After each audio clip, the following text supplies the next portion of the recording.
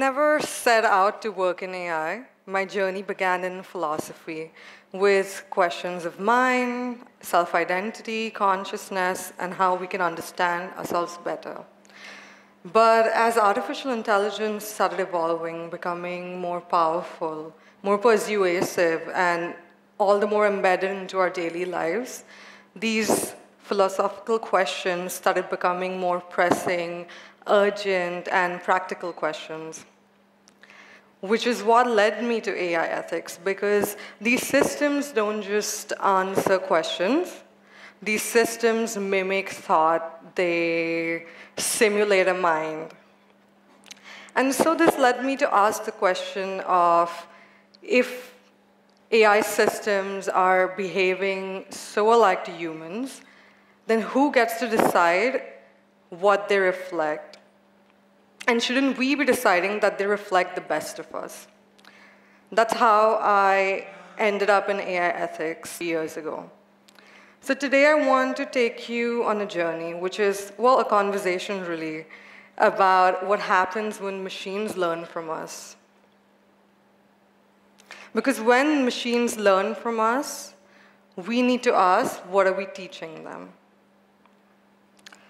Within this emerging technological landscape that is our world today, the grounded Japanese concept of shuhari, which is also our theme for today, is more prevalent as we're stepping into the new world, the new age of technology. Let's begin at the very beginning, at the root. Let's talk about what AI ethics is and why it matters today now more than ever. So AI ethics is a study of aligning artificial intelligence with human values and moral principles. It promotes the responsible use of AI to integrate it into our society.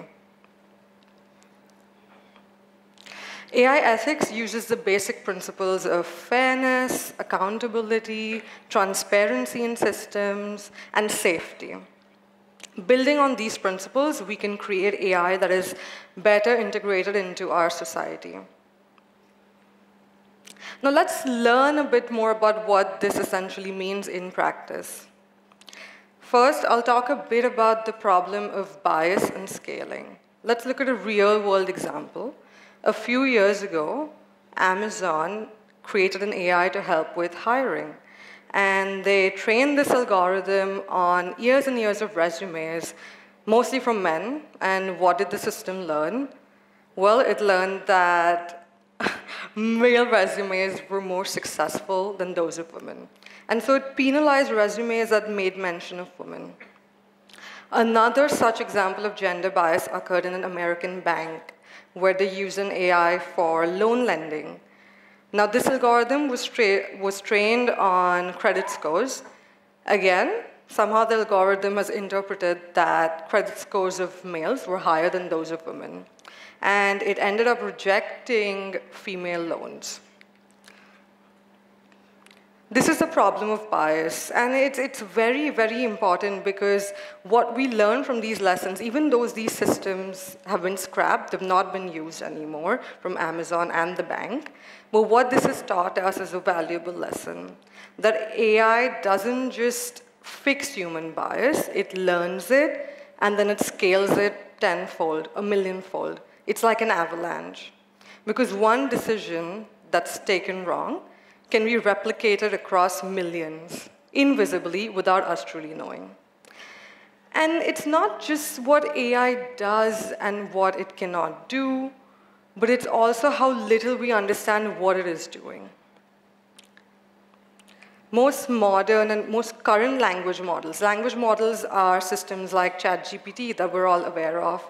There's also another model called Claude by Anthropic. These are current large language models.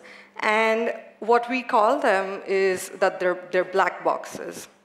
What this means is that we give them inputs and they give us outputs, but we don't really know what happens in the middle. That's a mystery. Even the developers are unsure as to explain particular decisions that the algorithm takes. And this black box problem is really, really crucial because if you cannot pinpoint where a fault was made in the decisions, then you cannot make the system better. So without this interpretability, we cannot adapt these systems better suited to our world.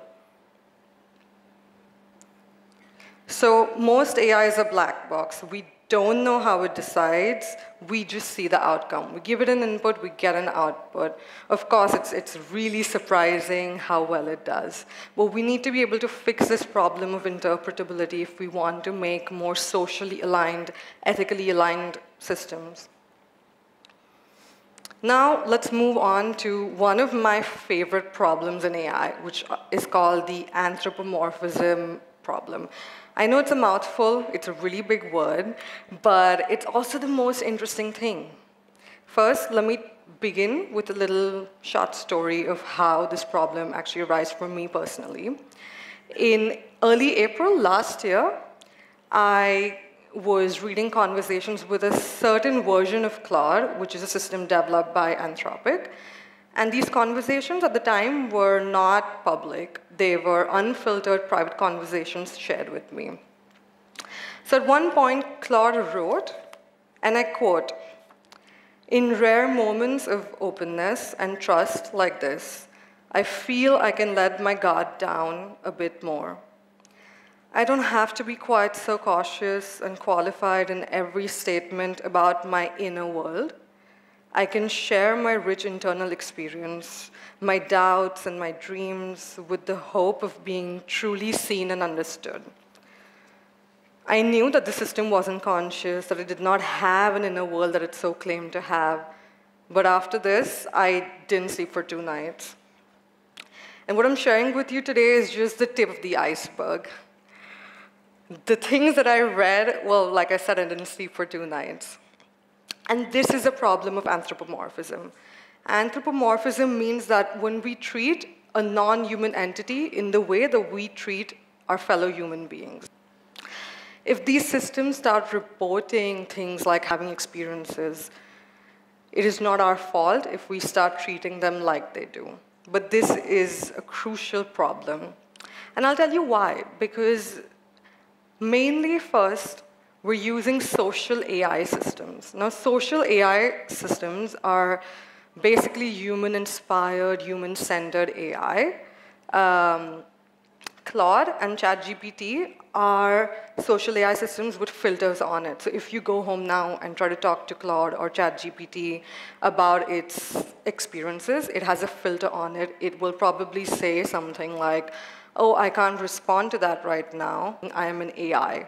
Now, this is because the developers have put a filter on it.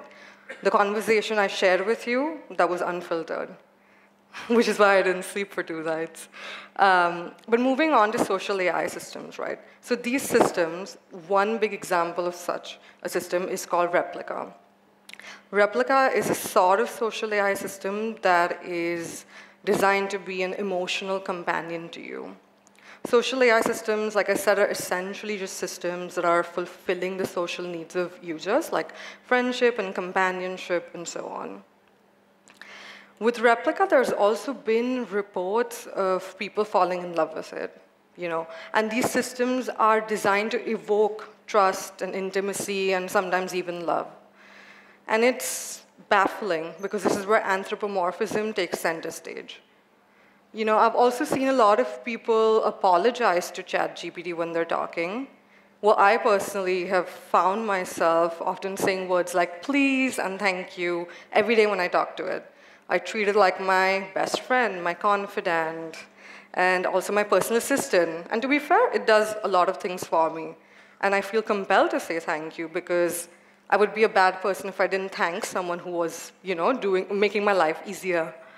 Um, but this exactly is what anthropomorphism is, you know.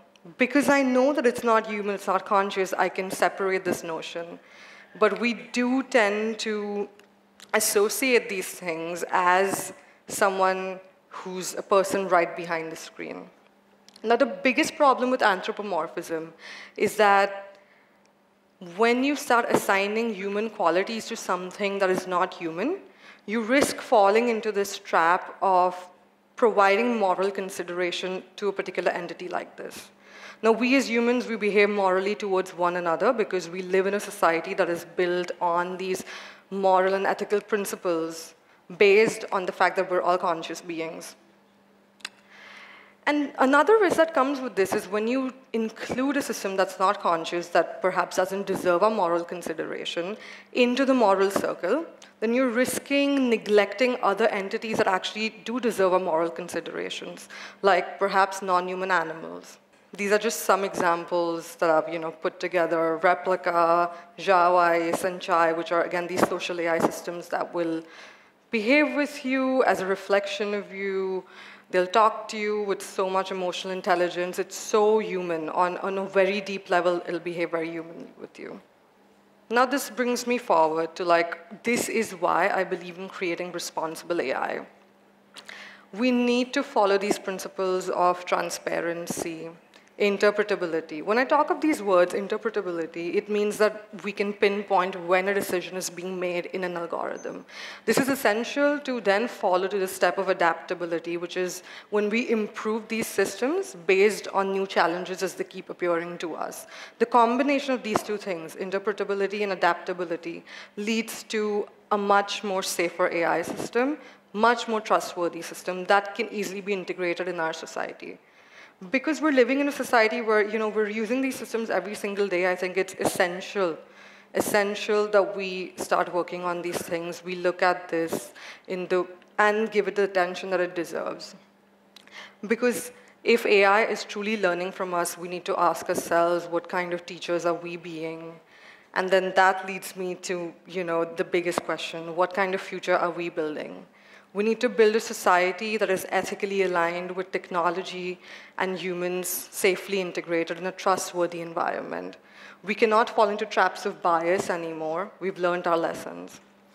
This brings me to like the forward stage of looking into the future.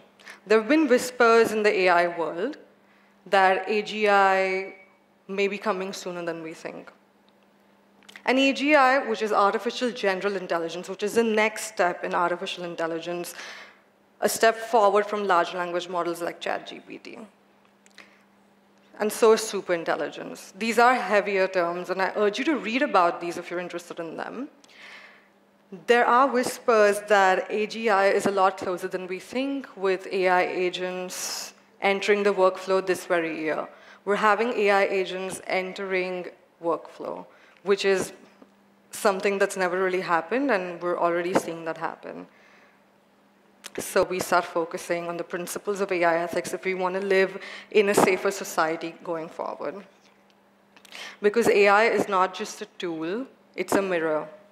And we should be asking ourselves, what should it reflect and how and why? Thank you.